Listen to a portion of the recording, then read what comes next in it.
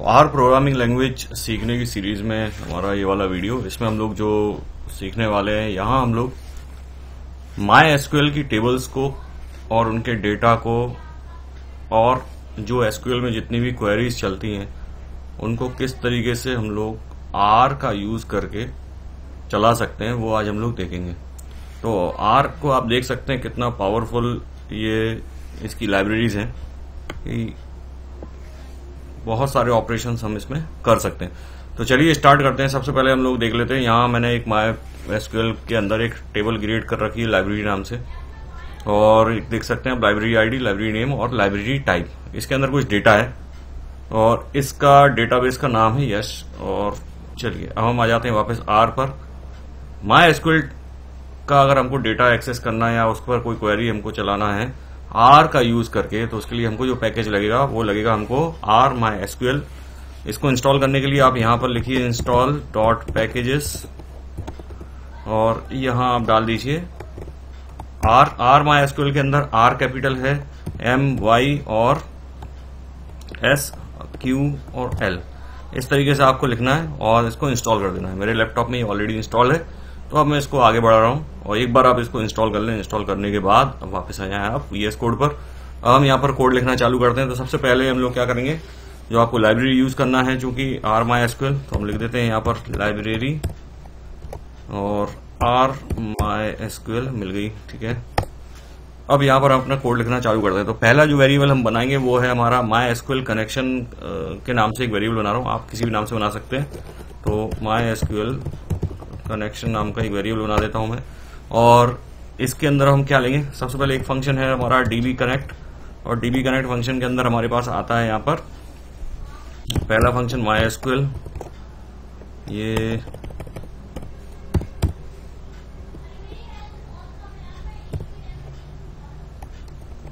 ठीक है। उसके बाद जो अगला फ़ंक्शन आएगा वो हमारा आएगा ये। कुछ वैल्यूज़ हमको देना पड़ेंगे। यूज़र तो यूज़र नेम जो हमारा है वो अभी अगर हम डिफ़ॉल्ट देखें तो यहाँ पर रूट है, जो आपका यूज़र नेम वो आप डाल दीजिए यहाँ पर। उसके बाद आता है पासवर्ड पासवर्ड यहाँ पर जो है वो ब्लैंक रखा है मैंने तो यहाँ मैं ब्लैंक छोड़ देता हूँ। पासवर्ड के बाद जो आता है वो आता है हमारा डीबी नेम डेटाबेस का नाम है हमारा यश, वो मैंने लिख दिया है। उसके बाद जो आएगा वो आएगा होस्ट होस्ट में अगर आप किसी सर्वर से आप कर रहे हैं तो वो एड्रेस आप डाल दीजिए, लेन पर कर रहे हैं तो आईपी एड्रेस डाल दीजिए और अगर उसी कंप्यूटर पर कर रहे हैं तो यहाँ मैं यूज़ कर रहा हूँ लोकल होस्ट। आप चाहें तो आप अपने हिसाब से इसको चेंज कर सकते हैं। आईपी एड्रेस डालना चाहें तो आईपी एड्रेस भी डाल सकते हैं। अगर आप का माया स्कूल सर्वर किसी दूसरे कंप्यूटर पर है और आप क्लाइंट के थ्रू उसको एक्सेस कर रहे हैं तो वहाँ आप आईपी एड्रेस इसमें डाल सकते हैं। कोई भी समस्या इसमें नहीं आएगी। अब आ जाते हैं हम लोग ये हमारा हो गया है। इसको हम कर देते हैं सेव। अब इसको मैं पहले टेस्ट कर लेता हूँ कि ये काम कर रहा है कि नहीं। सबसे पहले तो हम लोग ये चेक करते हैं कि हमारा जो डेटाबेस है यस कहाँ गए भाई? ये डेटाबेस है, मान लीजिए हमारा। तो इसके अंदर ये हमारी चार टेबल है अटेंड वन ऑथर बुक और लाइब्रेरी तो इसको ही हम प्रिंट करा के देख लेते हैं तो इससे हमें एक आइडिया लग जाएगा कि हमारा डेटाबेस कनेक्ट हो गया है या नहीं। तो डेटाबेस की टेबल्स को प्रिंट कराने के लिए यहाँ पर हमारे पास हमको मिलेगा डीबी लिस्ट टेबल्स ये रहा। डीबी लिस्ट टेबल्स जी। डीबी लिस्ट टेबल नाम का एक फ़ंक्शन और इसके अंदर हम लोग पास कर देंगे किसको, जो हमने बनाया था माई कनेक्शन कंट्रोल एस करता हूँ, चला के हम लोग देखते हैं एक बार, ये काम कर रहा है कि नहीं। तो इधर क्या है DBI could not connect to DB connect तो यहाँ क्या प्रॉब्लम आई है, चलिए इसको हम दूसरा थी एक तो डीबी कनेक्ट का मैं फ़ंक्शन के अंदर कनेक्ट का सी कैपिटल है और माया एसक्यूएल का माया एसक्यूएल पूरा ये कैपिटल है। तो जब भी आप टाइप करें तो एक बात ध्यान रखा करें कि इसमें जो ऑटोमेटिक जो आता है, उसका यूज़ किया करें। तो यहाँ जैसे मैं अगर डीबी कनेक्ट लिखना चाहूँगा तो ये देखिए आपको यहाँ पर ये सही जो फ़ंक्शन है वो आपको मिल जाएगा। दूसरा, ये केस सेंसिटिव है तो यहाँ आपको समस्या आ सकती है। तो ये हमने कर दिया। अब हम देखने वाले हैं कि इस डेटा डेटाबेस के अंदर कितनी टेबल्स इसके अंदर हैं।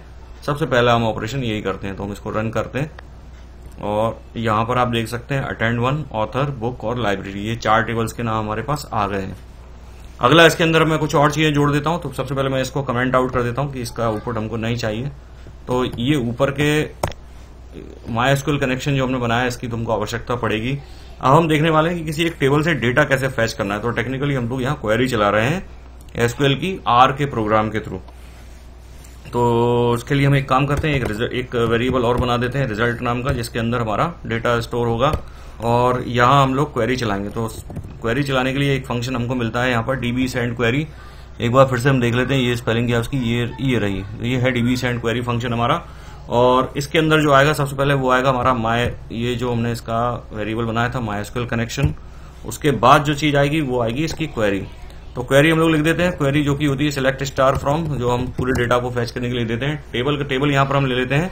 लाइब्रेरी नाम लाइब्रेरी जो टेबल है, उसको ले लेते हैं। L I B R A R Y ठीक है। और, ठीक है सिलेक्ट स्टार फ्रॉम लाइब्रेरी ये हो गया। अब हमको क्या प्रिंट कराना है? प्रिंट हमको कराना है रिज़ल्ट तो यहाँ हम लोग प्रिंट हम लोग रिज़ल्ट नहीं करा सकते यहाँ पे। यहाँ पे हमको एक काम और करना पड़ेगा। रिज़ल्ट में चूँकि माई स्कूल कनेक्शन में कनेक्शन भी आ रहा है, ये भी आ रहा है। तो यहाँ हमको एक डेटा फ्रेम बनाना पड़ेगी। तो डेटा डॉट फ्रेम बना देते हैं और डेटा फ्रेम में फ़ंक्शन नहीं डेटा फ्रेम में यहाँ पर हम लोग ले लेते हैं फैच फ़ंक्शन का यूज़ कर लेते हैं और यहाँ हम लोग फैच करा लेते हैं। किस चीज़ को? रिज़ल्ट को फैच करा लेते हैं। और इसके बाद आप चाहें तो एक और आर्गूमेंट इसमें पास कर कर सकते हैं कि कितने आपको रिज़ल्ट चाहिए मीन्स कितने पाँच चाहिए, छह चाहिए या पूरे चाहिए। तो अभी इस केस में पूरे टेबल के जितने भी रिकॉर्ड्स हैं, वो सभी फैच हो जाएँगे। अगर यहाँ पर अगर कॉमा लगाकर एन इक्वल टू कुछ आप दे देते हैं वन टू थ्री फोर और फाइव तो फिर उतने ही रिज़ल्ट आपके फैच होंगे। तो अभी मैं पूरे रिज़ल्ट फैच कर देता हूँ। Data dot frame fetch result और यहाँ हम लोग प्रिंट कर देते हैं। डेटा डॉट फ्रेम को।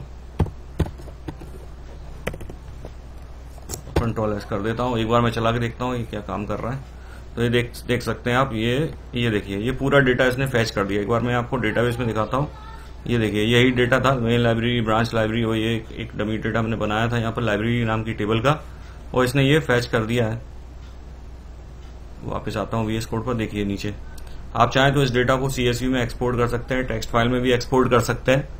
या आप अकॉर्डिंग आपके अकॉर्डिंग आप जो भी, इसको करना चाहे तो वो कर सकते हैं। देखिए, यहाँ पर जो आपने क्वेरी चलाई है, इस क्वेरी के अलावा आप और भी चीज़ें आप इसके अंदर चला सकते हैं। इंसर्ट अपडेट डिलीट जितनी भी क्वेरीज हैं, वो सभी आप इसके अंदर लिख सकते हैं और वो पूरी इसमें काम करेंगी। यहाँ पर।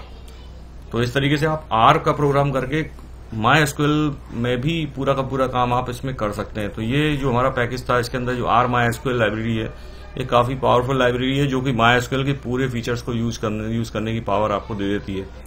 तो इस तरीके से हम लोग आर का यूज़ एसक्यूएल के साथ कर सकते हैं। आशा करता हूँ आपको ये वीडियो काफ़ी अच्छा लगा होगा और चीज़ें आपको समझ में आई होंगी। अगली वीडियो में हम और भी अच्छी अच्छी चीज़ें देखेंगे आर की। तो इस वीडियो को मैं यही एंड करता हूँ। और लाइक करिए इस, इस वीडियो को और जिन लोगों को ये वीडियो की आवश्यकता उन तक ये वीडियो ज़रूर पहुंचाएँ। थैंक यू फॉर वॉचिंग और